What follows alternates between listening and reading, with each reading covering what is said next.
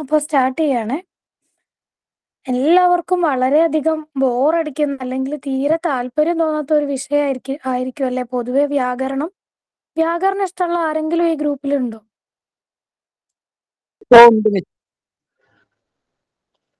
ആ വ്യാകരണം ഇഷ്ടമുള്ള ആളുകളും ഉണ്ട്. അപ്പോ അവർ കൂടുതലായിട്ടും ഇതിനെ പറ്റിയൊക്കെ കേട്ടിട്ടുണ്ടാവും. ഈ സന്ധി സമാസം അതുപോലെ നമ്മൾ വ്യാകരണത്തിൽ പ്രധാനമായിട്ട് കുറെ ഘടകങ്ങളായി തിരിച്ചിട്ടുണ്ടാവും. ഇങ്ങനെ നാമം ക്രിയ വിശേഷണം. അതിന്റെ ഉള്ളിൽ തന്നെ വിഭക്തി പ്രത്യയങ്ങൾ പിന്നെ കാലപ്രത്യയം അങ്ങനെയൊക്കെ പറഞ്ഞിട്ട് നമ്മൾ ഒരുപാട് ഇതായിട്ട് നമ്മൾ മലയാളം പഠിച്ചിട്ടുള്ള ആളുകൾ എല്ലാവരും നമ്മുടെ ഡിഗ്രി തലത്തിൽ ഒരു പേപ്പർ അല്ലെങ്കിൽ ഒരു ഇതായിട്ട് നമ്മൾ പഠിച്ചിട്ടുണ്ടാവും കുറച്ച് ഭാഗം വ്യാകരണം. അപ്പൊ അതിൽ നമ്മൾ തീർച്ചയായിട്ടും ഈ സന്ധി കാര്യങ്ങളൊക്കെ വളരെ കൃത്യമായിട്ട് കേട്ടിട്ടുണ്ടാവും അല്ലേ? കേട്ടിട്ടുള്ളവരും ഉണ്ടാവും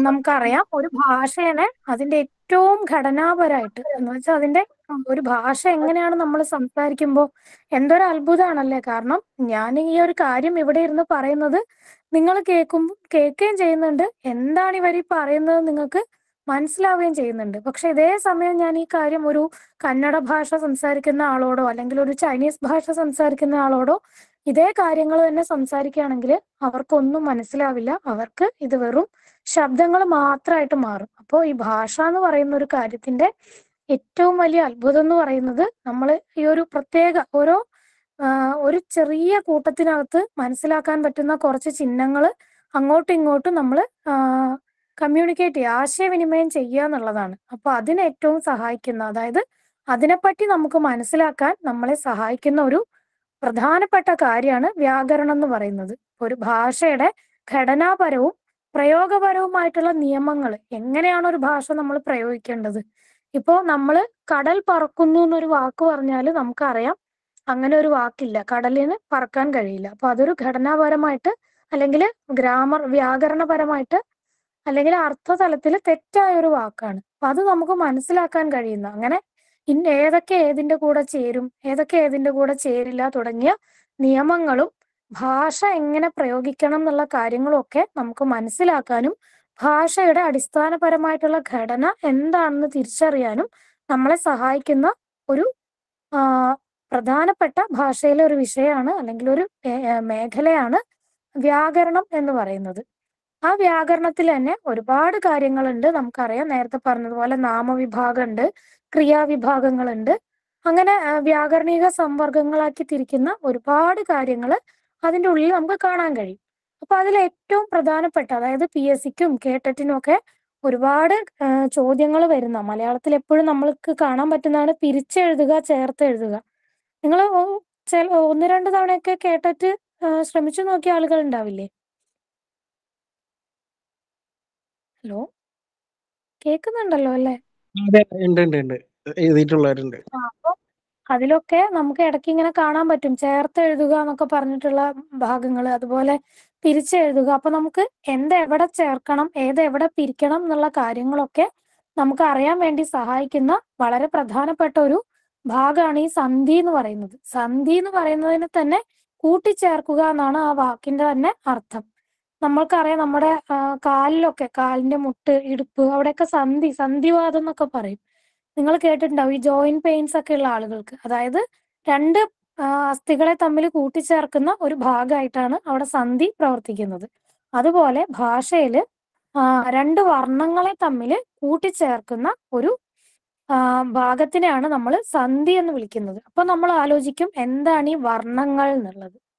അപ്പൊ നമ്മൾ ആദ്യം ആലോചിക്കേണ്ടത് വർണങ്ങൾ എന്താണ് എന്നുള്ളതാണ്. അതായത് അക്ഷരമാലയിൽ നമുക്ക് കാണാൻ കഴിയുന്ന അക്ഷരങ്ങളെല്ലാം തന്നെ വർണങ്ങളല്ല. നമുക്ക് ഏറ്റവും അടിസ്ഥാനപരമായിട്ടുള്ള ഒരു ശബ്ദമായിട്ട് നമുക്ക് കാണാൻ കഴിയുന്ന വസ്തുവാണ് വർണം എന്ന് പറയുന്നത്. ഇപ്പോൾ ആ എന്നുള്ള ഒരു അക്ഷരം എഴുതുകയാണെങ്കിൽ ആനെ നമുക്ക് പിരിക്കാനേ കഴിയില്ല. ആ എന്നുള്ള അക്ഷരത്തിനെ നമുക്ക് അകാരത്തിന് നമുക്ക് പിരിക്കാൻ കഴിയില്ല. പക്ഷെ വ എന്ന് എഴുതുകയാണെങ്കിൽ അതിന് വ് പ്ലസ് ആ അങ്ങനെയാണ് വ ആവുന്നത്. വ് അധികം ആ എന്നുള്ളതാണ് വ എന്നുള്ള അക്ഷരമാവുന്നത് അപ്പൊ അവിടെ അക്ഷരം വ ആണെങ്കിലും അവിടുത്തെ വർണം എന്ന് പറയുന്നത് വ് ആണ്. ഇപ്പൊ കീ എന്ന് എഴുതുകയാണെങ്കിൽ ക് പ്ലസ് ഇ. അവിടെ ഇ എന്നുള്ള സ്വരത്തിന്റെ കൂടെയാണ് ക് എന്നുള്ള വർണം നിൽക്കുന്നത്. അതായത് ആ വ്യഞ്ജനം നിൽക്കുന്നത്. അങ്ങനെ ഏറ്റവും അടിസ്ഥാനപരമായിട്ട് നമുക്ക് പിരിക്കാൻ കഴിയുന്ന ഏറ്റവും അടിസ്ഥാനപരമായിട്ടുള്ള ഒരു വസ്തുവാണ് വർണം. ഈ വർണം എന്നുള്ള കാര്യമാണ് സന്ധിയിൽ വളരെ പ്രധാനപ്പെട്ട ഒരു ഘടകമായിട്ടുള്ളത്. ഇങ്ങനെയുള്ള ഒരുപാട് ടെക്നിക്കൽ ടേമുകളൊന്നും പറയ പറയണില്ല ഇനി നമുക്ക് പറയാനാണെങ്കിൽ സന്ധികൾ സന്ധികൾ കുറെ തരത്തിൽ നമ്മൾ വർഗീകരിച്ചിട്ടുണ്ട് അതായത് എവിടെയാണ് ഈ സന്ധി സംഭവിക്കുന്നത് എന്നുള്ളത് അതായത് ഒരു വാക്കെടുക്കുമ്പോൾ ഇപ്പൊ മഴയില്ല എന്നൊരു വാക്കെടുക്കുമ്പോൾ അതിന്റെ ഏത് ഭാഗത്താണ് സന്ധി സംഭവിക്കുന്നത് എന്നുള്ള ഒരു സ്ഥാനത്തിനനുസരിച്ച് സന്ധിനെ തിരിക്കുന്നുണ്ട്. അതിനെ പദമ പദമധ്യസന്ധി പദ അന്തസന്ധി അങ്ങനെയുള്ള ചില ചില ഘടകങ്ങളായിട്ട് തിരിക്കുന്നുണ്ട്. ഇപ്പോ നമ്മൾ മര മരം മരത്തിൽ എന്നുള്ള ഒരു വാക്കിനെ നമ്മൾ പിരിക്കുകയാണെങ്കിൽ മരം പ്ലസ് ഇൽ എന്നായിരിക്കും അവിടെ നമുക്ക് പിരിച്ചു കിട്ടുന്നത്. അപ്പോ അതിന്റെ രണ്ടിന്റെയും ഇടയിലാണ് മരത്തിന്റെ ഇൽ എന്നുള്ളതിന്റെയും ഇടയിലാണ് സന്ധി വരുന്നത്. അങ്ങനെയുള്ളതാണ് പദമധ്യത്തിൽ വരുന്ന സന്ധി. അങ്ങനെയുള്ള കുറച്ച് കാര്യങ്ങളുണ്ട്. പക്ഷെ അതൊന്നും നമുക്ക് ആവശ്യമില്ല. നമുക്ക് ഏറ്റവും കൂടുതലായിട്ട് ആവശ്യം വരുന്നത് ഈ വർണങ്ങളിൽ എവിടെയാണ് മാറ്റം വരുന്നത് എന്നുള്ളതിനനുസരിച്ച് നാല് തരത്തിലുള്ള സന്ധിയാണ് നമ്മൾക്ക് അധികവും പി എസ് സിയിലായാലും കേട്ടറ്റിലായാലും കൂടുതലായിട്ടും ചോദിക്കുന്നത്. അത് അത് ഏതൊക്കെയാന്ന് നിങ്ങൾക്ക് അറിയുന്നുണ്ടാവും.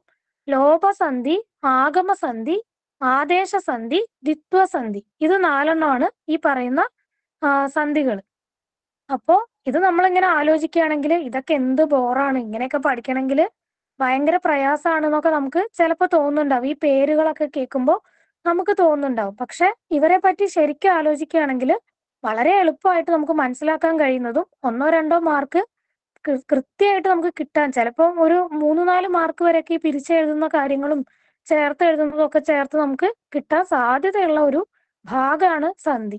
അപ്പൊ നമ്മൾ വെറുതെ ഒരു കഥ പോലെ ആലോചിക്കുകയാണെങ്കിൽ ഈ സന്ധി പറയുന്നത് ഒന്ന് ആലോചിച്ച് നോക്കാം. ഇപ്പോ ഒരു പ്രണയത്തിന്റെ കാര്യം എടുക്കാം. ഒരു ഉദാഹരണമായിട്ട് നമ്മൾ പ്രണയത്തിന്റെ കാര്യം എടുക്കുകയെന്ന് വെച്ചോ. രണ്ടുപേര് തമ്മിൽ പ്രണയിക്കുകയാണ് അങ്ങനെ രണ്ടുപേര് തമ്മിൽ പ്രണയിക്കാൻ തുടങ്ങുന്ന സമയത്ത് അതായത് ആദ്യം ഒരാൾ ഒറ്റയ്ക്ക് ഇരിക്കുമ്പോൾ അയാളുടെ ഉള്ളിലേക്ക് ഒരു പ്രണയം വരികയാണ്. എന്ന് വെച്ചാൽ ഒരാൾ ആഗമിച്ചു വരികയാണ് നമ്മളുടെ മനസ്സിലേക്ക്. മറ്റൊരാൾ നമ്മളല്ലാത്ത ഒരാൾ നമ്മളിലേക്ക് കടന്നു വരുന്നതാണ് ആഗമം. നിങ്ങൾക്ക് അറിയാലോ ആഗമത്തിന്റെ അർത്ഥം അറിയാലോ? ഒരാളെ നമ്മൾ സ്വാഗതം ചെയ്യുന്നതാണ് ആഗമിക്കുകയാണ് ആഗമം എന്ന് പറയുന്നത്. അപ്പോ ഇതുവരെ ഇല്ലാത്ത ഒരാൾ കടന്നു വരുന്നതിനെയാണ് നമ്മൾ ആഗമം എന്ന് പറയുന്നത്. കേൾക്കുന്നുണ്ടല്ലോ അല്ലേ? കേൾക്കുന്നുണ്ട് മാം. അതെ കേൾക്കുന്നുണ്ട്. അപ്പൊ അതേപോലെ തന്നെ നമ്മളിപ്പോ കുറച്ചു കാലം പ്രണയത്തിലൊക്കെ ആയതിനു ശേഷം നമുക്ക് തോന്നുകയാണ് ഇത് ശരിയാവില്ല ഈ ബന്ധം നമുക്ക് പറ്റിയതല്ല. അപ്പൊ സ്വാഭാവികമായിട്ട് നമ്മൾ ഒരുപാട് കേൾക്കുന്ന ഒരു കാര്യമാണ്. അപ്പൊ നമ്മൾ അയാളെ ഒഴിവാക്കുകയാണെങ്കിൽ ആ ഒഴിവാക്കി പോകുന്നതിനെയാണ് ലോഭം എന്ന് പറയുന്നത്. ഒരാൾ ലോപിച്ചു പോവുകയാണ്. നമ്മുടെ കൂടെ ഇത്രയും കാലം ഉണ്ടായിരുന്നു. പക്ഷെ മറ്റൊരു ചേർച്ചയുടെ ഇടയിൽ നമുക്ക് തോന്നുകയാണ് ഇത് ശരിയാവുന്നില്ല. അല്ലെങ്കിൽ എനിക്കിത് ഒപ്പം കൊണ്ടുപോകാൻ പറ്റില്ല എന്ന് തോന്നുന്ന സമയത്ത് ലോപിച്ചു പോകുന്നതിനെയാണ് നമ്മൾ ലോഭം അതായത് അയാളെ ഒഴിവാക്കുകയാണെന്ന് നമുക്ക് തോന്നുകയാണെങ്കിൽ അതാണ് ലോഭം എന്ന് പറയുന്നത്. ഇനി ആദേശം എന്ന് പറയുന്നത്.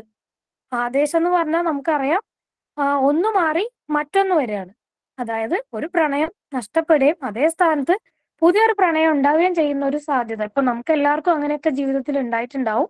അപ്പൊ അങ്ങനെ ഒരു സാധ്യതേനെയാണ് നമ്മൾ ആ ഒരു സാധ്യതേനെ നമുക്ക് ഉദാഹരണമായിട്ട് പറയാൻ പറ്റുന്ന ഒരു കാര്യമാണ് ഈ ആദേശ സന്ധി കാരണം ഒന്ന് പോയിട്ട് ഭാഷയിലെ ഒരു വർണം പോയിട്ട് അവിടെ മറ്റൊരു വർണം കയറി വരികയാണ്. ഇനി ദ്വിത്വസന്ധി ആണെങ്കിലോ അത് ഭയങ്കര റയറായിട്ടൊന്നും അല്ല ഇപ്പോഴത്തെ കാലത്ത് നടക്കുന്നത്. ഒരേ സമയം ഒന്നിലധികം പേരോട് നമുക്ക് പ്രണയം തോന്നുന്നതിനെയാണ് അല്ലെങ്കിൽ ആ ഒരു ഒരേ സമയം ഒന്ന് രണ്ടു പേരുണ്ടാവുന്നതിനെയാണ് നമ്മൾ ദ്വിത്വം എന്ന് പറയുന്നത്. അപ്പോൾ ഇങ്ങനെ ആലോചിച്ചു കഴിഞ്ഞാൽ നമുക്ക് ഈ സന്ധികളുടെ പേരുകളെങ്കിലും എളുപ്പത്തിൽ ഓർത്തു വെക്കാൻ സാധിക്കുമെന്നാണ് തോന്നുന്നത് ഇനി കുറച്ച് ഉദാഹരണങ്ങൾ പറഞ്ഞിട്ട് അതിന്റെ കൂടെ ഇങ്ങനെ പറയാം. അപ്പൊ ആദ്യമായിട്ട് ലോപസന്ധിനെയാണ് പറയാൻ പോകുന്നത്. ലോപസന്ധിയായിട്ട് നമ്മൾ ഒരു വാക്ക് പറയുകയാണെങ്കിൽ ഇപ്പോ ചൂട് അധികം ഉണ്ട്. ചൂട് അധികം ഉണ്ട് എന്നുള്ള ഒരു വാക്ക് നമ്മൾ ചേർത്ത് എഴുതുകയാണെങ്കിൽ അവിടെ സന്ധി ചേർന്നിട്ട് ചൂടുണ്ട് എന്നൊരു വാക്കാണ് വരാൻ പോകുന്നത്. അപ്പോ ചൂ അപ്പൊ നമ്മൾ ആലോചിക്കും അവിടെ ഇപ്പൊ എന്താണ് പോയത് എന്ന് ആലോചിക്കും. നമ്മൾ എഴുതുമ്പോ ചൂട് എന്ന് എഴുതുമ്പോ മുകളിൽ നമ്മളൊരു ചന്ദ്രക്കല ഇടാറുണ്ട് അല്ലെ? ഒരു അർദ്ധസ്വരം ഇടാറുണ്ട്. ഇല്ലേ? ആ അർദ്ധസ്വരാണ് ചൂട് ഉണ്ട് എന്നുള്ളതിൽ പോയിട്ട് ചൂടുണ്ട് എന്നായി മാറുന്നത്. അപ്പോൾ അവിടെ ഒരു ശബ്ദം ലോപിച്ചു പോവുകയാണ് ചെയ്യുന്നത്. പിന്നെ അതുപോലെ നമ്മളിപ്പോ വെളുപ്പ് ആണ് അല്ലെങ്കിൽ കറുപ്പ് ആണ് അങ്ങനെയൊക്കെ പറയുന്ന ഒരു ഇത് കൂട്ടിച്ചേർക്കുകയാണെങ്കിൽ വെളുപ്പ് പ്ലസ് ആണ് അല്ലെങ്കിൽ കറുപ്പ് പ്ലസ് ആണ് ചുവപ്പ് പ്ലസ് ആണ് അങ്ങനെയുള്ളത് കൂട്ടിച്ചേർക്കുകയാണെങ്കിൽ അവിടെ വെളുപ്പാണ് കറുപ്പാണ് ചുവപ്പാണ് എന്നുള്ള രീതിക്ക് ആ മുകളിലിടുന്ന ചന്ദ്രക്കല അവിടെ നിന്ന് ലോപിച്ചു പോവുകയാണ് ചെയ്യുന്നത്. അതുപോലെ ഇരുമ്പഴി ഇരുമ്പ് അധികം അഴിയുന്നിടുകയാണെങ്കിൽ അതിന്റെ മുകളിലും അതേപോലെയുള്ള ചന്ദ്രക്കല ലോപിച്ചു പോകുന്നതായിട്ട് നമുക്ക് കാണാൻ സാധിക്കും. അപ്പോൾ നമ്മൾ ആലോചിക്കുകയാണ്. ഇനി ഇതേപോലെ തന്നെ നമുക്ക് ആലോചിക്കാം. ഒരു പാർക്കിൽ ഒരുപാട് കുട്ടികൾ ഇരുന്ന് കളിക്കുകയാണ്. അതിൽ ഒരു കുട്ടിയുടെ പേരാണ് ഈ ഒരു കുട്ടിയുടെ പേര് രു ഒരു കുട്ടിയുടെ പേര് ഇമ്പ്. അതിന്റെ മുകളിലെ ചന്ദ്രക്കലയായിട്ട് വരുന്ന ആ കുട്ടി അവിടെ നിന്ന് ലോബി കളി നിർത്തി പോവുകയും ബാക്കിയുള്ളവർ കളി തുടരുകയും ചെയ്യുന്നത് ആയിട്ടാണ് നമുക്ക് ലോഭസന്ധിയെ കാണാൻ സാധിക്കുന്നത്. അപ്പൊ ഇത്രയാണ് ലോഭസന്ധിയിൽ പറയാനുള്ളത്. നിങ്ങൾക്ക് ആർക്കെങ്കിലും അതിൽ മനസ്സിലാവുന്നുണ്ടോ? എന്തെങ്കിലും ചോദിക്കാനുണ്ടോ? അതായത് ഉപയോഗിച്ചുകൊണ്ടിരിക്കുന്ന വാക്കിലെ ഒരു വർണം ലോപിച്ചു പോകുന്നതാണ് ലോഭസന്ധി അത് ലോപിച്ചു പോകുന്നത് ഉച്ചാരണത്തിന്റെ സുഖത്തിന് വേണ്ടിയിട്ടാണ്. ഇപ്പൊ ഇരുമ്പ് അഴി എന്ന് നമ്മൾ പറയുമ്പോൾ നമുക്ക് പറയാനുള്ളത് ഒരു പ്രയാസമാണ്. കാരണം ഇരുമ്പ് അഴി ഇരുമ്പ് അഴി നമ്മൾ ഉച്ചരിക്കുമ്പോൾ നമ്മൾ സ്വാഭാവികമായിട്ടും നമ്മുടെ സ്വാഭാവിക ഉച്ചാരണത്തിൽ അത് ഇരുമ്പഴി ആയി മാറുന്നുണ്ട്. അപ്പൊ അങ്ങനെ നമ്മുടെ ഉച്ചാരണത്തിന്റെ സ്വാഭാവികതയ്ക്ക് വേണ്ടിയിട്ട് നമ്മൾ സ്വയം ഭാഷയിൽ ഉണ്ടാക്കുന്ന കുറെ സൗകര്യങ്ങളാണ് ഈ സന്ധികൾ. നമുക്ക് ശരിയായ രീതിയിൽ ഭാഷ പ്രയോഗിക്കാൻ വേണ്ടിയിട്ട് നമ്മളെ സഹായിക്കുന്ന കാര്യങ്ങളാണ് സന്ധികൾ. അപ്പോൾ ആ ഒരു സൗകര്യത്തിന് വേണ്ടിയിട്ടാണ് ഈ ഒരു വർണം ലോപിച്ചു പോകുന്നത്. ഇതാണ് ലോപസന്ധിയെ കുറിച്ച് പറയാനുള്ളത്. എന്തെങ്കിലും ചോദിക്കാനുണ്ടോ? മനസ്സിലാവുന്നുണ്ട്. വ്യക്തമാവുന്നുണ്ടോ? അപ്പോ ലോഭസന്ധി ഇത്രയേ ഉള്ളൂ.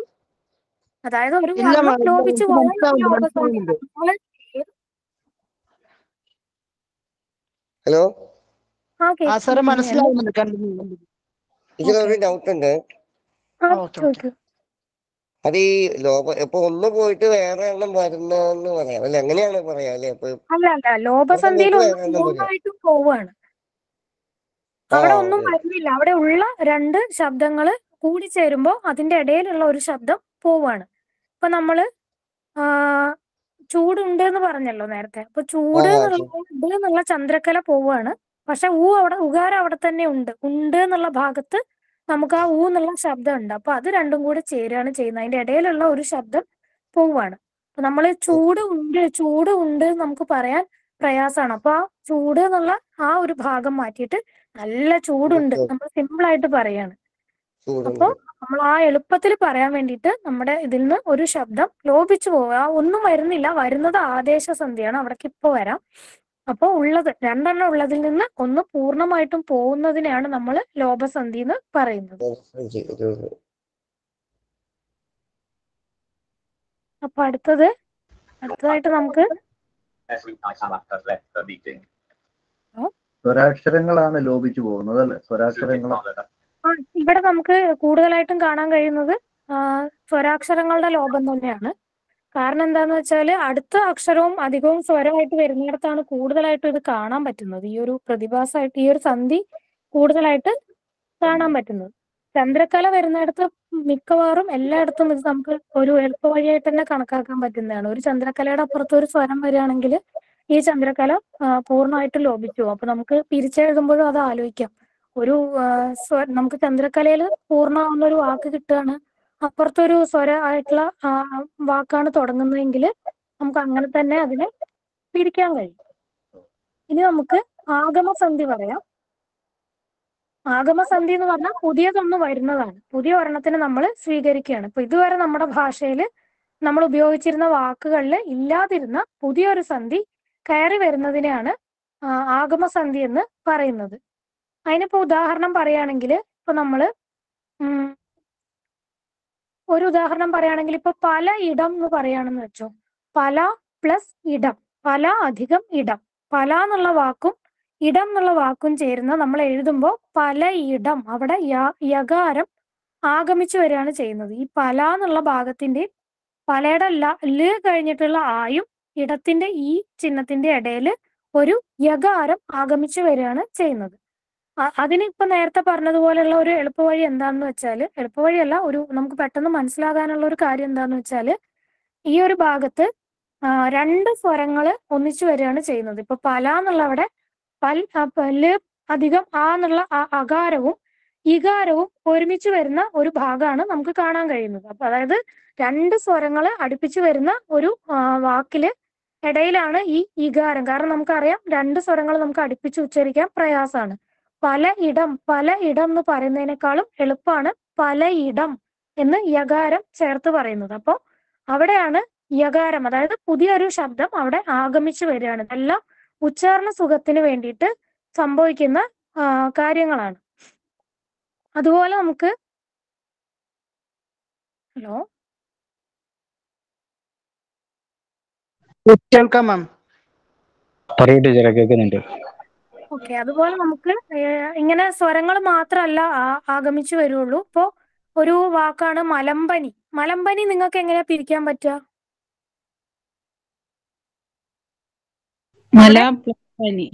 അതെ. അപ്പോ അവിടെ ഒരു മകാരം കൂടെ ഇടയിൽ ആഗമിച്ചു വരുന്നുണ്ട്. മല കഴിഞ്ഞിട്ട് ഒരു അക്ഷരം ഒരു മകാരം മലം പനി എന്നാവുന്ന സമയത്ത് ഒരു മകാരം ആഗമിച്ചു വരുന്നുണ്ട്. അത് എന്താന്ന് വെച്ചാൽ മല എന്ന് കഴിഞ്ഞിട്ട് നമുക്ക് മല പനി എന്ന് പറയുമ്പോൾ നമ്മുടെ ഉച്ചാരണം ശരിയായ രീതിയിലല്ല വരുന്നത്. പകരം മലം പനി എന്ന് പറയുമ്പോൾ നമുക്ക് നമുക്കത് കൂട്ടിച്ചേർത്ത് സൗകര്യപൂർവം ഉച്ചരിക്കാൻ പറ്റുന്നുണ്ട്. അതായത് തൊട്ടടുത്ത് വരുന്ന അക്ഷരം പ ആയതുകൊണ്ട് തന്നെ അതിന്റെ അനുനാസിക അതായത് പ പ ഭ ഭ ഭ മ ആ മകാരം ഉണ്ടല്ലോ.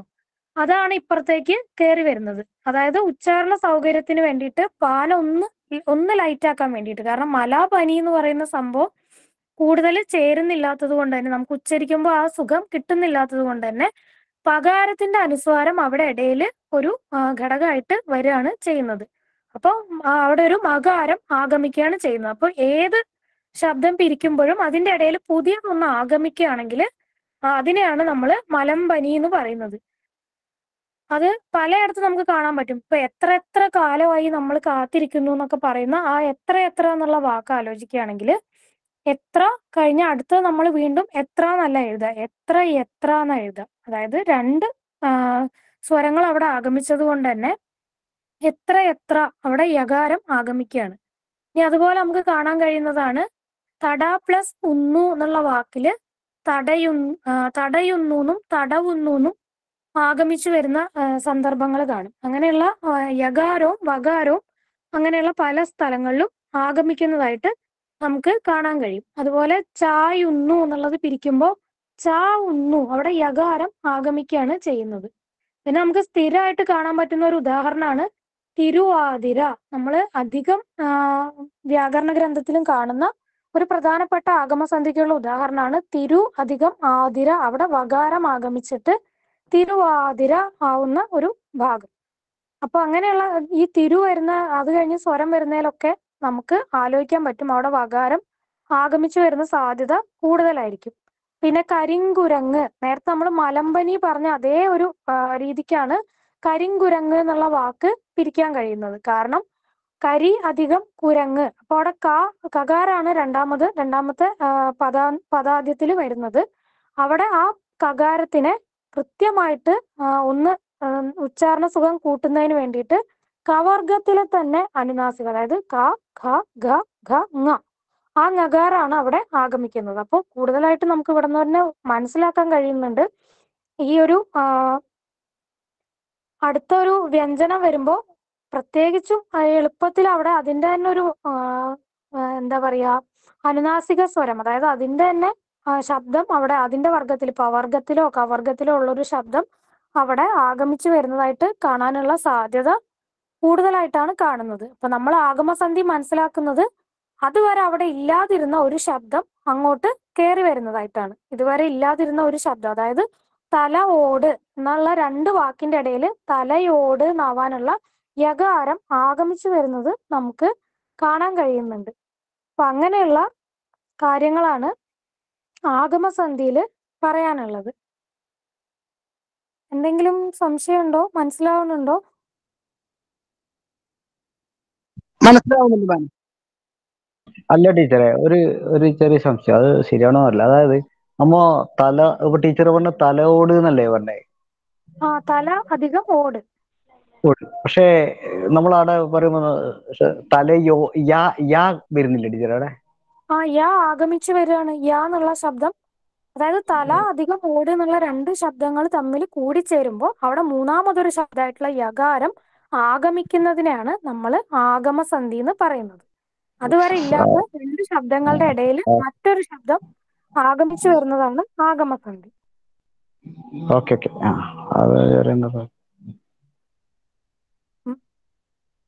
അത് തന്നെയാണ് നമ്മൾ ആദ്യം പറഞ്ഞ പല ഇടം. പല കഴിഞ്ഞിട്ട് ഇടമാണ് പക്ഷെ പല ഇടം യകാരാണ് നമ്മൾ ആഗമിച്ചു വരുന്നതായിട്ട് കാണുന്നത്. കരിങ്കുരങ്ങ് എന്നുള്ള ഉദാഹരണം നമ്മൾ പിരിക്കുകയാണെങ്കിൽ കരി അധികം കുരങ്ങ് എന്നുള്ളതിന് കരിങ്കുരങ്ങ് ഇടയിലൊരു നകാരം ആഗമിച്ചു വരികയാണ്. അപ്പൊ അതുവരെ ഇല്ലാത്തൊരു ശബ്ദം ആഗമിച്ചു വരുന്നതിനെയാണ് ആഗമസന്ധി എന്ന് പറയുന്നത്. അടുത്തത് പറയട്ടെ. മാം ചായുന്നു എന്നുള്ളത് ഒന്നും കൂടി പറഞ്ഞുതരും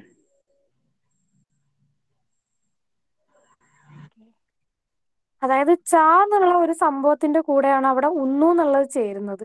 ച എന്നുള്ളതാണ് അതിൽ ആദ്യത്തെ ധാതുവായിട്ട് വരുന്നത്. അതിന്റെ കൂടെ ഉന്നു ചേരുമ്പോഴാണ് ചായുന്നു എന്നാവുന്നത്. ആ ഉന്നു അപ്പൊ ചാ ഉന്നു എന്ന് പറയുമ്പോൾ ആ വാക്ക് നമുക്ക് നമുക്ക് തീർച്ചയായിട്ടും അതിനൊരു അർത്ഥം പോലും മനസ്സിലാവുന്നില്ലല്ലോ. കാരണം അങ്ങനെ ഒരു വാക്ക് നമ്മൾ പ്രയോഗിച്ച് ശീലവുമില്ല നമുക്കത് ഉപയോഗിച്ചു. ചാ ഉന്നു എന്ന് പറയുമ്പോൾ തീർച്ചയായിട്ടും ആ അർത്ഥം തന്നെ മാറിപ്പോകുന്ന ഒരു സാഹചര്യമാണ് ഉള്ളത് ചാ ഉന്നു എന്നുള്ള ഫീലാണ് നമുക്ക് അവിടെ കിട്ടുന്നത്. അപ്പോൾ ആ ഒരു ഭാഗത്ത് ച അധികം ഉന്നു എന്ന് വരുന്നിടത്ത് യകാരം ആഗമിക്കുന്നു. ഇതിന്റെ ഇടയിൽ വേറൊരു റൂൾ കൂടി ഒരു നിയമം കൂടി സന്ധി നിയമം ഉണ്ട്. അതായത് അത് കുറച്ച് പ്രയാസമുള്ളതുകൊണ്ടാണ് പറയാതിരുന്നത്. താലവ്യ സ്വരം രണ്ട് താലവ്യ സ്വരങ്ങൾ ചേരുന്നതിന്റെ ഇടയിലാണ് അധികമായിട്ടും യകാരം വരുന്നതെന്ന് പറയുന്ന ഒരു നിയമം അതിന്റെ ഇടയിലുണ്ട്. അത്രയും നമുക്ക് ഡീപ്പായിട്ട് ഈ സന്ധിയിൽ പഠിക്കാനില്ല. അതുകൊണ്ടാണ് രണ്ട് ചില വാക്കുകൾക്ക് രണ്ട് ആഗമങ്ങൾ സംഭവിക്കും. ഇപ്പൊ നേരത്തെ ഞാനൊരു ഉദാഹരണം പറഞ്ഞിരുന്നു. തടയുന്നു തടവുന്നു. അത് രണ്ടും പിരിക്കുമ്പോൾ ഒരേപോലെ പിരിക്കുക. തട അധികം ഉന്നു തട അധികം ഉന്നു തന്നെയാണ് പിരിക്കുക. പക്ഷെ ഇതിന്റെ ഇടയിലുള്ള ഒരു അകാരത്തിന് താലവ്യ ശബ്ദം അതായത് നമ്മൾ അത്രയും അത്രയും ഡീപ്പായിട്ട് പറയേണ്ട കാര്യമില്ല എന്ന് തോന്നിയത് കൊണ്ടാണ് അത് പിന്നെ ആ ഉദാഹരണം ഒഴിവാക്കിയിരുന്നത്. ടീച്ചറെ ഓട്ടം തുള്ളൽ അതിന്റെ അകത്തുണ്ടോ? യാഗമം ഓട്ടൻ തുള്ളൽ. അത് ഓട്ടൻ തുള്ളലായിട്ട് തന്നെയല്ലേ നമ്മൾ പറയാറുള്ളത് അല്ല ആഗമനം ഒന്നുമില്ല അല്ലേ? ഇല്ല ഇല്ല പറയാൻ തുള്ളൽ ഇല്ല അതും സമാസമാണ് സംഭവിക്കുന്നത്. രണ്ട് വാക്കുകൾ തമ്മിൽ സന്ധി ഇല്ലാതെ ചേരുന്ന ഒരു ഭാഗമായിട്ട് അവിടെ ഒന്നും സന്ധി സംഭവിക്കുന്നില്ല. ഇനി അഥവാ അങ്ങനെ നമുക്ക് തോന്നണമെങ്കിൽ നമ്മൾ ശീതങ്കം തുള്ളൽ തുള്ളൽ എന്നുള്ള രീതിക്ക് എന്താന്ന് പറഞ്ഞ് ഉച്ചരിക്കുകയാണെങ്കിൽ അത് പ്രയോഗത്തിലില്ല. നമ്മൾ സംസാരിക്കുമ്പോൾ ചിലപ്പോൾ നമ്മൾ പറഞ്ഞു പോകുന്നുണ്ടാവും. ഓട്ടം തുള്ളൽ എന്താന്ന് വെച്ച് ഉച്ചരിക്കുമല്ലോ എഴുതുമ്പോൾ അത് വരാറില്ല. പക്ഷെ നമ്മൾ പറയുമ്പോൾ ഓട്ടം തുള്ളൽ എന്ന് ഒന്നിച്ച് പറയുകയാണെങ്കിൽ അവിടെ ഓട്ടം പ്ലസ് തുള്ളലിന്റെ ഇടയിൽ തകാരത്തിന്റെ ഇടയിൽ തായുടെ തന്നെ അനുനാസിക ശബ്ദമായിട്ടുള്ള നഗാരം ആഗമിച്ചിട്ട് അവിടെ നമ്മുടെ ഉച്ചാരണത്തിനുള്ള സൗകര്യം ഉണ്ടാക്കുന്നുണ്ട്. അതധികവും നമ്മൾ ഈ വേഗത്തിൽ സംസാരിക്കുന്നതിന്റെ ഇടയിൽ സംഭവിക്കുന്നതാണ്. എഴുത്തിലധികവും അതായത് വരമൊഴിയിൽ ഓട്ടൻ തുള്ളൽ തന്നെയാണ് എഴുതി കാണാറുള്ളത് ആദേശസന്ധി പറയാമോ? ആ മിസ്സേ പറഞ്ഞോ.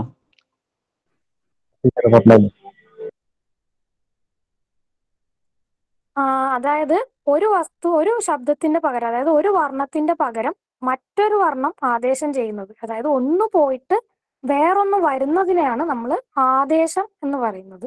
നമ്മുടെ കൂടെ ഉണ്ടായിരുന്ന ഒരാൾ പോവുകയും അതിന് പകരം അതേപോലെ തന്നെ.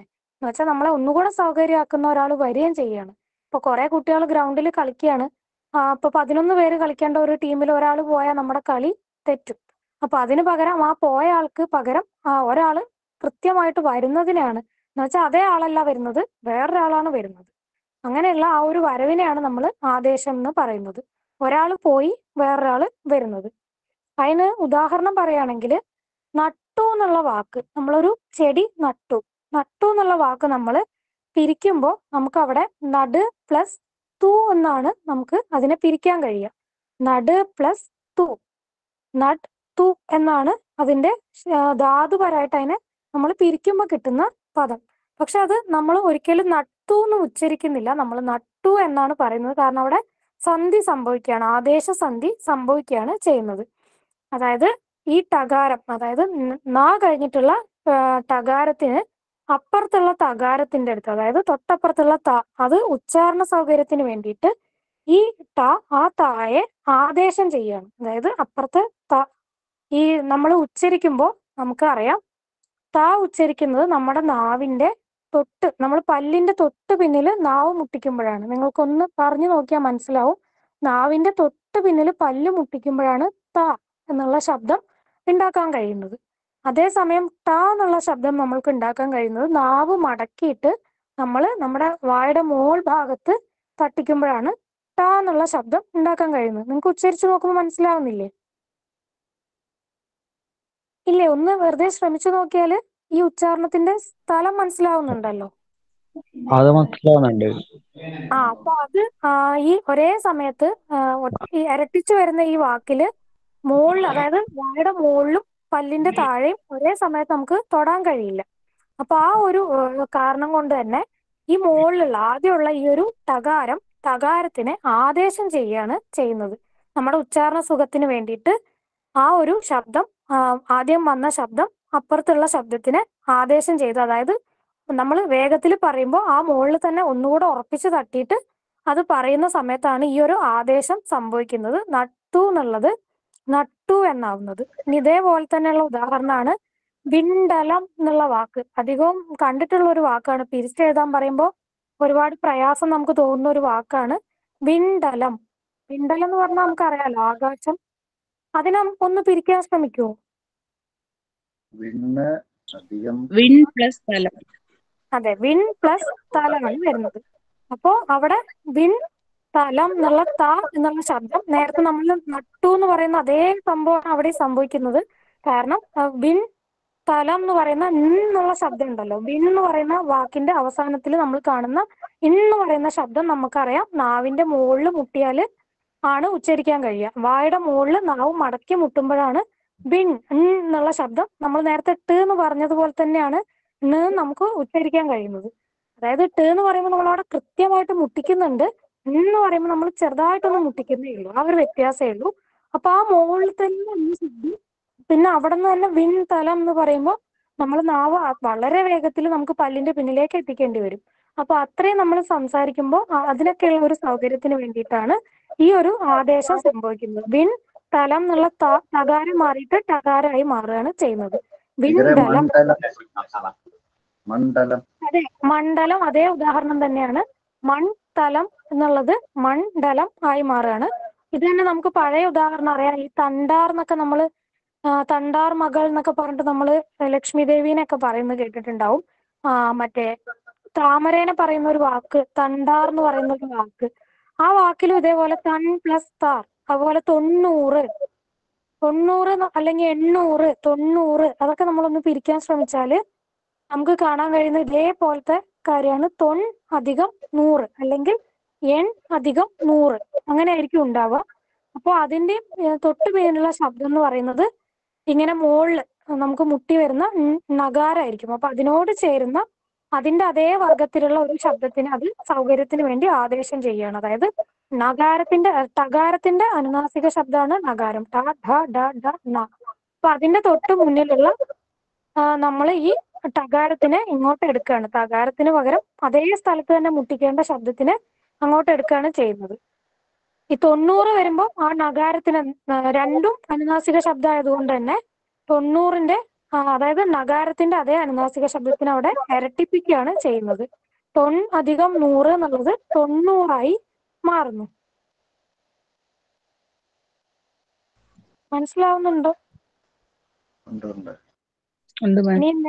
നെന്മണി എന്നുള്ള വാക്ക് നമ്മൾ ഹലോ? പറയട്ടെ? കേക്കാം.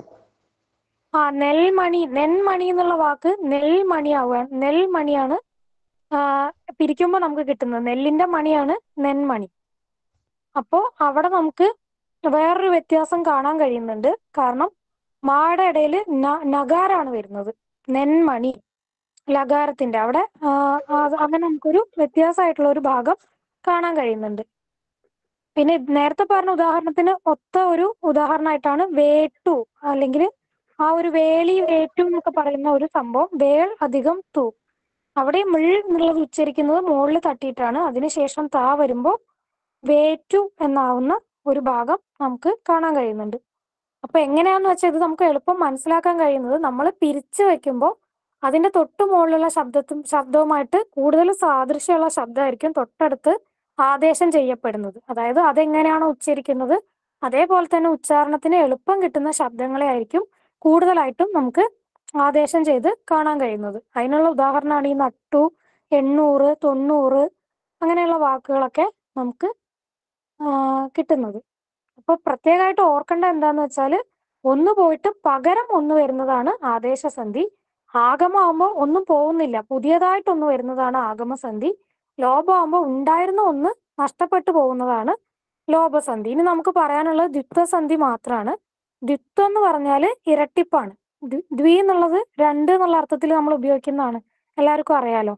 അപ്പൊ ദ്വിത്വം എന്ന് പറയുന്നത് ഇരട്ടിപ്പായിട്ടാണ് ഉപയോഗിക്കുന്നത്. അപ്പോൾ ഇരട്ടിച്ച ഒരു ശബ്ദം അതായത് അതേ ശബ്ദം തന്നെ ഇരട്ടിക്കുന്നത് ആണ് നമ്മൾ ദ്വിത്വസന്ധിയിൽ ഉൾപ്പെടുത്തിയിട്ടുള്ളത്. പറയാലോ അല്ലേ? പറഞ്ഞു. അപ്പൊ നമ്മൾ ഒരു കിളി കിളിക്കൂട് എന്നുള്ള ഒരു വാക്ക് എടുക്കുകയാണെങ്കിൽ കിളി അധികം കൂടായിരിക്കും. പക്ഷെ നമ്മൾ ആ ഉച്ചാരണത്തിൽ കിളി കൂട് എന്നല്ല പറയുക. കിളിക്കൂട് അല്ലെങ്കിൽ പക്ഷിക്കൂട് അവിടെ കകാരം ഇരട്ടിക്കാണ് ചെയ്യുന്നത്. പിന്നെ അതേപോലെ തന്നെ ഇപ്പൊ നീല അധികം കണ്ണ് അല്ലെങ്കിൽ നമ്മൾ പൂച്ച കണ്ണ് അങ്ങനെയൊക്കെ പറയുന്ന ഒരു സ്ഥലത്ത് നീലക്കണ്ണ് പൂച്ചക്കണ്ണ് അവിടെയെല്ലാം കകാരം ഇരട്ടിക്കുകയാണ് ചെയ്യുന്നത്. തല അധികം പാവ് അവിടെ പകാരം ഇരട്ടിക്കുകയാണ് ചെയ്യുന്നത്. പശു അധികം കുട്ടി പശുക്കുട്ടി അങ്ങനെയുള്ള വാക്കുകൾ വരുന്നിടത്ത് ഒരു അക്ഷരം ഇരട്ടിച്ചു വരുന്നത് അതായത് നമ്മൾ ഉച്ചരിക്കുന്ന അക്ഷരം ഇരട്ടിച്ചു വരുന്നതിനാണ് ദ്വിത്വസന്ധി എന്ന് പറയുന്നത്. ഇത് വളരെ എളുപ്പമുള്ളതാണ്. നമുക്ക് ഉച്ചരിച്ച് നോക്കിയാൽ തന്നെ എളുപ്പം മനസ്സിലാക്കാൻ കഴിയും. ഇപ്പൊ തുമ്പിക്കൈ നമ്മൾ രണ്ടാമത്തെ കൈ തുമ്പി അധികം കൈ എന്നുള്ളതിൽ നമ്മൾ കൈനെ ഇരട്ടിച്ചു ഉച്ചരിക്കും. അതുപോലെ പടിക്കെട്ട് തലപ്പാവ് അങ്ങനെയൊക്കെയുള്ള വാക്കുകൾ വരുമ്പോൾ നമ്മൾ അതിനെ ഇരട്ടിച്ച് ഉച്ചരിക്കുന്ന സന്ധിയാണ് സന്ധിയാണ് ദ്വിത്വസന്ധി. അതായത് പിരിക്കുമ്പോൾ അവിടെ ഇരട്ടിപ്പ് ഉണ്ടാവില്ല പക്ഷെ നമ്മൾ ചേർത്ത് അതിനെ സംസാരിക്കുമ്പോൾ ആ ഭാഗത്ത് രണ്ട് വാക്കുകൾ കൂടിച്ചേരുന്ന ഭാഗത്ത് ഒരു ഇരട്ടിപ്പ് അതായത് കൂടിച്ചേരുന്നതിന്റെ ആദ്യത്തെ ശബ്ദത്തിൽ രണ്ടെണ്ണം ചേരുമ്പോൾ രണ്ടാമത്തേൽ ആദ്യ ശബ്ദത്തിന് ഒരു ഇരട്ടിപ്പ് സംഭവിക്കുന്നതിനാണ് നമ്മൾ ദ്വിത്വസന്ധി എന്ന് പറയുന്നത്. ഇത്രയാണ് കോമൺ ആയിട്ട് സന്ധികളെ പറ്റി പറയാനുള്ളത്. പിന്നെ ഇത് അത്ര വലിയ എന്താ പറയാ ഭയങ്കര ഒരു ടോപ്പിക്കായിട്ടോ അല്ലെങ്കിൽ പ്രയാസമുള്ള ഒരു കാര്യമായിട്ടോ ഒന്നും കാണേണ്ട ആവശ്യമില്ല. വളരെ സിമ്പിളായിട്ട് രണ്ട് വർണങ്ങൾ ചേരുമ്പോൾ അല്ലെങ്കിൽ രണ്ട് വർണങ്ങൾ രണ്ട് പദങ്ങൾ തമ്മിൽ ചേരുമ്പോൾ അതിന്റെ ഇടയിൽ ഉണ്ടാവുന്ന ചെറിയ മാറ്റങ്ങൾ ഭാഷയിൽ നമുക്ക് പ്രയോഗിക്കാനുള്ള സൗകര്യത്തിന് വേണ്ടിയിട്ട് ഉപയോഗിക്കുന്നതാണ്. അപ്പൊ അങ്ങനെ ഉണ്ടാവുന്ന ചെറിയ ചെറിയ മാറ്റങ്ങളെ പറ്റിയാണ് അധികമായിട്ടും സന്ധിയിൽ പറയുന്നത്. അത് തന്നെ നമുക്ക് അധികവും പിരിച്ചെഴുതുക ചേർത്തെഴുതുക എന്നൊക്കെ പറയുന്ന ഭാഗത്താണ് നമുക്കിത് എങ്ങനെ പിരിക്കണം എങ്ങനെ ചേർക്കണം എന്നൊക്കെയുള്ള സംശയങ്ങൾ വരുമ്പോഴാണ് ഈ ഒരു സന്ധി വരിക. പിന്നെ അല്ലെങ്കിൽ കൃത്യമായിട്ട് ചോദിക്കുന്നുണ്ടാവും ഈ ഒരു പദം. ഇപ്പോ തലക്കെട്ട് എന്നുള്ള പദം ഏത് സന്ധിയിൽ ഉൾപ്പെടുന്നു എന്ന് പറഞ്ഞിട്ട് നമുക്ക് നാല് ഉദാഹരണം തരുന്നുണ്ടാവും. അപ്പൊ നമ്മൾ തലക്കെട്ട് എന്ന് പറയുമ്പോൾ നമുക്കറിയാം രണ്ടാമത്തെ ആ പദത്തിൽ അവിടെ ഇരട്ടിപ്പാണ് നമുക്ക് കാണാൻ കഴിയുന്നത്. അത് കാണുമ്പോൾ നമുക്കറിയാം അത് ദ്വി- ദ്വിത്വസന്ധിയിൽ വരുന്നതാണെന്ന് മനസ്സിലാവുന്നുണ്ട്. അതുപോലെ എണ്ണൂറ് എന്ന് പറയുമ്പോൾ നമ്മൾ ഒന്ന് പിരിച്ചു നോക്കുക. അപ്പൊ എൺ പ്ലസ് എൺ അധികം നൂറ് എന്ന് വരുന്നുണ്ട്. അപ്പൊ നമുക്കറിയാം ഇവിടെ നഗാരം ഉണ്ട്. പക്ഷെ ആ നഗാരം പോവുകയല്ല ചെയ്യുന്നത്. മറ്റേ ഒരു ശബ്ദം അതിന്റെ അപ്പുറത്തുള്ള ന എന്നുള്ള ശബ്ദം അതിന്റെ മുകളിൽ ആദേശം ചെയ്യാണ് ചെയ്യുന്നത്. അത് അത് പോകുന്നതിനോടൊപ്പം തന്നെ ഒന്ന് വരികയാണ് ചെയ്യുന്നത്. ഒന്ന് പോയി മറ്റൊന്ന് വരികയാണ് ചെയ്യുന്നത് എന്നുള്ളിടത്ത് നമുക്കതിന് ആദേശം സംഭവിച്ചു എന്ന് കണക്കാക്കാം. പൂർണമായിട്ടും ഒരു ശബ്ദം പോവുകയാണ് എന്നുണ്ടെങ്കിൽ അതായത് അധികവും പോകുന്നത് ഈ ചന്ദ്രക്കലകളൊക്കെയാണ് കൂടുതലായിട്ടും പോകുന്നുണ്ടാവുക. അപ്പൊ അത് പോവുകയാണെങ്കിൽ അതുപോലെ അനുസ്വാര ശബ്ദങ്ങൾ മരം എന്ന് പറയുന്നിടത്ത് നമ്മൾ മരത്തിന്റെ എന്ന് പറയുമ്പോൾ അം പോയിട്ട് അത്ത് എന്ന് പറയുന്ന ശബ്ദം അത് പക്ഷെ ആദേശത്തിലാണ് വരിക. എന്നാലും ആ ഒരു ശബ്ദം പോകുന്നത്. അങ്ങനെയുള്ള കാര്യങ്ങളൊക്കെ വരുന്നിടത്ത് നമുക്ക് മനസ്സിലാക്കാൻ പറ്റും. നമ്മൾ ഉച്ചരിച്ച് നോക്കുമ്പോൾ തന്നെ നമുക്ക് മനസ്സിലാക്കാൻ പറ്റും. പിന്നെ നമ്മൾ ലോപസന്ധി പറഞ്ഞു ആഗമസന്ധി പുതിയതൊന്ന് ആഗമിക്കുകയാണെന്ന് പറഞ്ഞു ആദേശസന്ധി പറഞ്ഞു ദ്വിത്വസന്ധി പറഞ്ഞു. അപ്പൊ പ്രധാനമായിട്ട് നമുക്ക് സന്ധി കാര്യങ്ങളിൽ ഇത്രയും കാര്യങ്ങളാണ് പറയാനുള്ളത്. ഇനി എന്തെങ്കിലും സംശയമൊക്കെ ഉണ്ടെങ്കിൽ ഇനി ഇല്ലെങ്കിലും സന്ധിക്കുന്ന സ്ഥാനം അനുസരിച്ച് അല്ലെങ്കിൽ സന്ധിക്കുന്ന വർണങ്ങൾ അനുസരിച്ചൊക്കെ സന്ധിയെ പിരിക്കുന്നുണ്ട്. പക്ഷെ അതൊന്നും നമുക്ക് അധികവും അധികവും നല്ല ഇതുവരെ കണ്ടിട്ടേ ഇല്ലാത്ത കാര്യങ്ങളാണ്. അങ്ങനെയുള്ള കാര്യങ്ങളൊന്നും നമുക്ക് ഇവിടെ ചർച്ച ചെയ്യേണ്ട കാര്യമില്ലല്ലോ. ഈ നാല് സന്ധികളാണ് പ്രധാനമായിട്ടും ചോദ്യ പേപ്പറിൽ കൂടുതലായിട്ടും കാണാനുള്ളത്. ഒരു വാക്ക്. ഇപ്പോ കാലോചിതം കാലം പ്ലസ് ഉചിതം എന്നല്ലേ പറയാം നമ്മൾ അത് നമുക്ക് സംസ്കൃത സന്ധിയായിട്ട് ബന്ധപ്പെട്ട് വരുന്ന ഒരു കാര്യമാണ്. അതിന്റെ ഒരു പ്രശ്നം കൊണ്ടാണ് ആ കാലോ എന്നായി മാറുന്നത്. അത് വേറൊരു സന്ധി നിയമത്തിൽ വരുന്നതായതുകൊണ്ടാണ് അങ്ങനെ സംഭവിക്കുന്നത്. ഈ ഒരു ഭാഷാ സന്ധിയിൽ വരുന്ന സംഭവത്തിലാണ് ഇങ്ങനെ ഇല്ലാത്തത്. സന്ധിക്കുന്ന വർണങ്ങൾക്കനുസരിച്ച് വരുന്ന അതിന് കുറച്ച് കാര്യങ്ങളുണ്ട്. നമ്മൾ ഈ സ്വരം അധികം സ്വരം വരുന്നിടത്ത് വരുന്ന സന്ധി അതായത് രണ്ട് സ്വരങ്ങൾ തമ്മിൽ ചേരുമ്പോൾ അവിടെ സംഭവിക്കുന്ന സന്ധി. അതുപോലെ അതിന് നമുക്ക് സംസ്കൃതത്തിൽ പറയും ഈ അജന്തം അജാതി അങ്ങനെ പറയുന്ന വാക്ക്. അതായത് രണ്ടും സ്വരമാവുന്നു. അജ അജത്തിൽ അവസാനിക്കുകയും അജത്തിൽ അല്ല അജത്തിൽ ആരംഭിക്കുക അജത്തിൽ അവസാനിക്കുക അജെന്ന് ഇവിടെ സ്വരത്തിനാണ് ഉദ്ദേശിക്കുന്നത്. സ്വരം അധികം സ്വരം എന്ന് പറയുന്ന ഭാഗത്ത് വരുന്ന സന്ധ്യയായിട്ടാണ് അങ്ങനത്തെ വരുന്നത്. അതുപോലെ അജന്തം പ്ലസ് ഹലാദി അതായത് സ്വരവും വ്യഞ്ജനവും വരുന്ന ഭാഗം. അങ്ങനെയൊക്കെ പറഞ്ഞിട്ട് കുറച്ച് ഉൾപ്പിരിവുകളൊക്കെ വരുന്നുണ്ട്. അങ്ങനെയുള്ള അത് സംസ്കൃത സന്ധിയിൽ അങ്ങനെയുള്ള കുറച്ച് കാര്യങ്ങൾ വരുന്നുണ്ട്. അതിനകത്തൊക്കെയാണ് ഇങ്ങനെയുള്ള വിഷയങ്ങൾ. ഈ കാലോചിതം പോലുള്ള വാക്കുകൾ കാണാൻ കഴിയുന്നത്. ടീച്ചറെ മരത്തിന്റെ എന്ന് പറഞ്ഞത് മരം അധികം ഇന്ത്യ എന്നാണ് അത് അത്ത് എന്ന് പറയുന്ന സാധനമാണ് അവിടെ ആദേശം ചെയ്യുന്നത്. അതായത് സന്ധി ചെയ്യുകയാണെങ്കിലും അതിന്റെ ഇടയിൽ അം എന്നുള്ളത് അത്തായി മാറുകയാണ് ചെയ്യുന്നത്. ആദേശമാണ് സംഭവിക്കുന്നത്. അത് മരം എന്നുള്ളതിൽ മാത്രം മരം കരം അങ്ങനെയൊക്കെ പറയുന്ന അനുസ്വാരം വരുന്ന സംഭവത്തിൽ മാത്രമാണ് ഉള്ളത്. അതുകൊണ്ടാണ് അതിനൊരു പ്രത്യേകതയായിട്ട് നമുക്ക് പറയാനുള്ളത്. ഇപ്പൊ മരത്തിന്റെ അല്ലെങ്കിൽ കരത്തിന്റെ കരത്ത് കരം നികുതി കരത്തിന്റെ തീട്ട് എന്നൊക്കെ പറയുന്ന ആ ഒരു സാധനം അം എന്നുള്ള അനുസ്വാരം അത്തായിട്ട് അത്ത് എന്നുള്ള ഒരു സാധനം ഒരു ഇടനില പ്രത്യായിട്ട് വരികയാണ് ചെയ്യുന്നത്. ഇടനില എന്ന് പറഞ്ഞിട്ട് ഈ ഭാഷയിലുള്ള ഒരു പ്രത്യേക സവിശേഷതയാണ് അവിടെ സംഭവിക്കുന്നത്. അപ്പൊ നമുക്ക് നമുക്കിപ്പോ ഇതേ സംശയം തന്നെ മരം മരങ്ങൾ എന്ന് പറയുമ്പോൾ നമുക്ക് തോന്നും.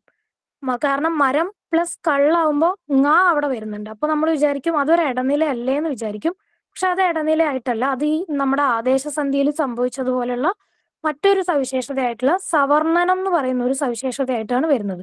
പക്ഷെ ഈ അം അത്തായി മാറുന്നത് ഇടനില പ്രത്യായിട്ട് അനുസ്വാരം വരുമ്പോൾ അതിന്റെ ഇടയിൽ അത്ത് എന്നുള്ളൊരു ശബ്ദം ആദേശം ചെയ്യുന്നതായിട്ടാണ് വരുന്നത്. അതിനെ ഒരു ഇടനില പ്രത്യായിട്ടാണ് കണക്കാക്കുന്നത്. അത് ആദേശ സന്ധിയിലാണ് ഉൾപ്പെടുത്തേണ്ടത്. പക്ഷെ അതൊരു പ്രത്യേക റൂളാണ്. പ്രത്യേക സന്ധി നിയമമായിട്ടാണ് വരുന്നത്. ഈ ആദേശം എന്ന് പറഞ്ഞതിന്റെ അർത്ഥം ആദേശം ഒന്ന് പോയി വേറൊന്ന് വരും. ഇപ്പൊ മരം എന്നുള്ളതിൽ അം അർത്ഥം? എന്നുള്ള അതാണ് വാക്കിന്റെ അർത്ഥം. ആ ആദേശം ചെയ്യ ഒന്നിനെ ആ, കളഞ്ഞ് മറ്റൊന്നിനെ സ്വീകരിക്കുന്നതാണ് ആദേശമായിട്ട് വരുന്നത്.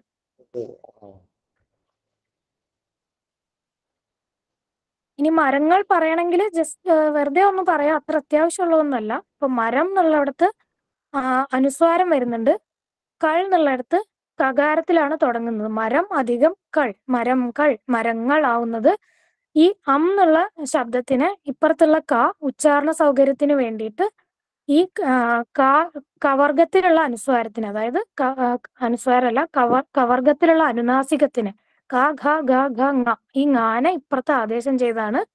അതായത് മാക്ക് പകരം അവിടെയുള്ള മകാരത്തിന് പകരം ഇവിടെയുള്ള ങകാരം ആദേശം ചെയ്താണ് ഇത് സംഭവിക്കുന്നത്. പക്ഷെ ഇതൊക്കെ കുറച്ച് കോംപ്ലിക്കേറ്റഡ് ആയിട്ട് രണ്ട് മൂന്ന് പ്രക്രിയയല്ല അതിന്റെ ഇടയിൽ നമുക്ക് പറയാൻ പറ്റും. വ്യാകരണമായിട്ട് പിരിക്കുമ്പോൾ പക്ഷെ അത്രയും കാര്യമായിട്ടൊന്നും നമുക്ക് പി എസ് സി ഒന്നും സാധാരണ ചോദിക്കാറില്ല. പിന്നെ എച്ച് എസ് എ പോലുള്ളതൊക്കെ ആണെങ്കിൽ ചിലപ്പോൾ വരുമായിരിക്കും.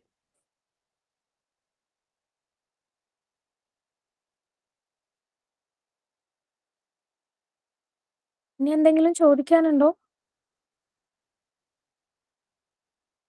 നമുക്ക് ആകെ ഈ നാല് കാര്യങ്ങളാണ് പ്രധാനമായിട്ടുള്ളത് അതായത് ലോപിച്ചു പോകുന്നത്. എന്ന് പറഞ്ഞാൽ തന്നെ ഇല്ലാതായി പോവുക.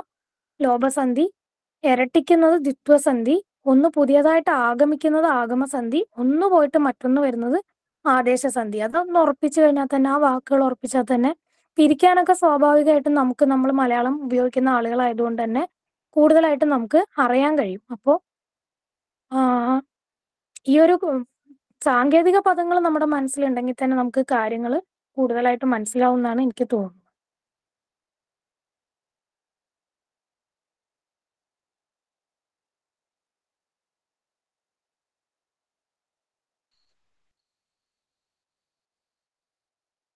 മാഷേ? ഇനി ആർക്കെങ്കിലും സംശയം ചോദിക്കാനുണ്ടോ? എന്തെങ്കിലുമൊക്കെ ചോദിക്കാനുണ്ടെങ്കിൽ ചോദിക്കാം. ആദേശവും ആഗമവും തമ്മിൽ എന്തെങ്കിലും ബന്ധം? ഇല്ല ആദേശവും ആഗമവും തമ്മിൽ അങ്ങനെ ബന്ധമൊന്നുമില്ല. ആഗമം എന്ന് വെച്ചാൽ ഒന്നും ഇല്ലാത്തടത്ത് ഒന്ന് വരുന്നു. ആദേശം നമുക്ക് പറയുകയാണെങ്കിൽ ഒന്ന് ഉണ്ടായിരുന്നു അതിന് പകരം ഒന്ന് വരുന്നു. അങ്ങനെ കണക്കാക്കുകയാണെങ്കിൽ ഒരു ബന്ധം പറയാന്നേ ഉള്ളൂ. രണ്ടിലും ഓരോന്ന് വരുന്നുണ്ട്. പക്ഷെ ഒരിടത്ത് ഒന്നും ഉണ്ടായിരുന്ന സ്ഥാനത്ത് പകരക്കാരനായിട്ടാണ് ഒരു ശബ്ദം വരുന്നത്. മറ്റിടത്ത് ഒന്നും ഇല്ലാതിരുന്നിടത്ത് പുതിയൊരു ശബ്ദം ആഗമിച്ചു വരികയാണ് ചെയ്യുന്നത്. ഇതുവരെ ഇല്ലാതിരുന്ന ഒന്ന് അവിടെ പ്രത്യക്ഷപ്പെടുന്നതിനെയാണ് ആഗമം എന്ന് പറയുന്നത്. ഒന്നുണ്ടായിരുന്നു അതിനെ മാറ്റിയിട്ട് അതിനെ നീക്കം ചെയ്തിട്ട് അതേ സ്ഥാനത്ത് പുതിയതൊന്ന് മറ്റൊന്ന് കയറി വരുന്നതിനെയാണ് ആദേശം എന്ന് പറയുന്നത്. രണ്ടിടത്തും ഉള്ള ബന്ധം എന്താന്ന് വെച്ചാൽ രണ്ടിടത്തും ഓരോ ശബ്ദങ്ങൾ വരുന്നുണ്ട്. അതായത് ഒരു ശബ്ദം പുതിയത് സംഭവിക്കുന്നുണ്ട്. അങ്ങനെ ഒരു ബന്ധം നമുക്ക് കണക്കാക്കാൻ പറ്റും. Hello ma'am. ആ പറഞ്ഞോളൂ. ഈ അനുസാര അനുനാസികാത്ത് എന്താണെന്ന് പറയാവോ?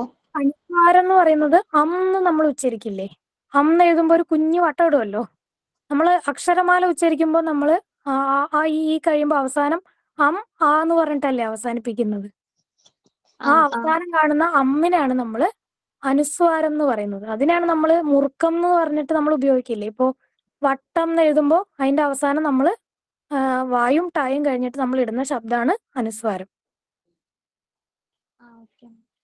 വട്ടം പട്ടം കറക്കം തൂക്കം വേഷം അങ്ങനെയൊക്കെ പറയുന്ന നമ്മളൊരു ശബ്ദത്തിൽ അവസാനിക്കുന്നുണ്ടല്ലോ. അവിടെ ഒരു മകാരാണ് ശരിക്കും ഉള്ളത് പക്ഷെ ആ മകാരത്തിനെയാണ് നമ്മൾ അനുസ്വാര ആ വട്ടം ഉള്ള ചിഹ്നം കൊണ്ട് അനുസ്വാരമായിട്ട് ഉപയോഗിക്കുന്നു ഉപയോഗിക്കുന്നത്. പിന്നെ അനുനാസിക എന്ന് പറഞ്ഞാൽ നമ്മൾക്കറിയാം. നമ്മൾ അക്ഷരമാല പഠിക്കുമ്പോൾ കവർഗം ക ച ഡ ത പ എന്നുള്ള ശബ്ദങ്ങൾ ഉണ്ടല്ലോ. അതിന്റെ എല്ലാത്തിന്റെ അറ്റത്ത് നമ്മൾ ക ഖ ഗ ഘ ങ അവിടെ ങാ എന്ന് പറയുന്ന ശബ്ദം നമ്മൾ ഉച്ചരിക്കുമ്പോൾ നമ്മുടെ മൂക്ക് നമ്മൾ മൂക്ക് അടച്ചിട്ടൊന്ന് ങാ എന്ന് പറയുകയാണെങ്കിൽ നമുക്കത് പറയാൻ കുറച്ച് പ്രയാസമായിരിക്കും കാരണം അതിൽ നമ്മുടെ ശ്വാസം മൂക്കിൽ കൂടെ കൂടെ കുറച്ച് പുറത്തു വിട്ടിട്ടാണ് ആ ശബ്ദം ഉച്ചരിക്കുന്നത്. ആ ഒരു ശബ്ദത്തിനെയാണ് അനുനാ അനുനാസികം അനുനാസികം എന്ന് വെച്ചാൽ നാസിക മൂക്കാണ്. അനു എന്ന് വെച്ചാൽ കൂടെ. അതായത് നാസികയും കൂടെ ഉൾപ്പെടുത്തിക്കൊണ്ട് ഉച്ചരിക്കുന്ന ശബ്ദമാണ് അനുനാസിക ശബ്ദം. അപ്പൊ അങ്ങനെയുള്ള ശബ്ദങ്ങളാണ് ങ ഞ ണ ന മ. ഇതെല്ലാം നമുക്ക് ഉച്ചരിക്കണമെങ്കിൽ നമ്മുടെ മൂക്കിന് നമ്മൾ നന്നായി മൂക്കടച്ചു കഴിഞ്ഞാൽ നമുക്ക് ഈ ശബ്ദങ്ങളൊന്നും വൃത്തിയായിട്ട് ഉച്ചരിക്കാൻ പറ്റുന്നുണ്ടാവില്ല. അപ്പൊ അങ്ങനെയുള്ള മൂക്ക് കൂടെ ഉച്ചരിക്കുന്നതെന്ന് പറയാൻ പറ്റുന്ന അത്രയും കുറച്ച് സോഫ്റ്റ് ആയിട്ടുള്ള ശബ്ദങ്ങളാണ് ഈ അനുനാസിക ശബ്ദങ്ങൾ. ക്ലിയർ ആയിട്ടുണ്ടോ?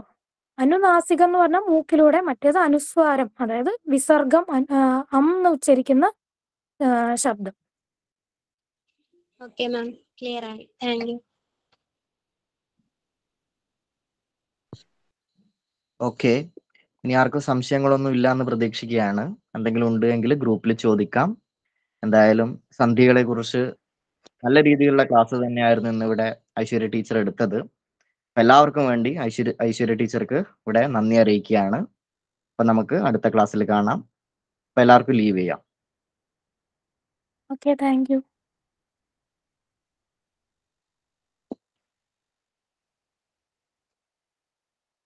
microphone is turned off. Your microphone. Thank you, teacher.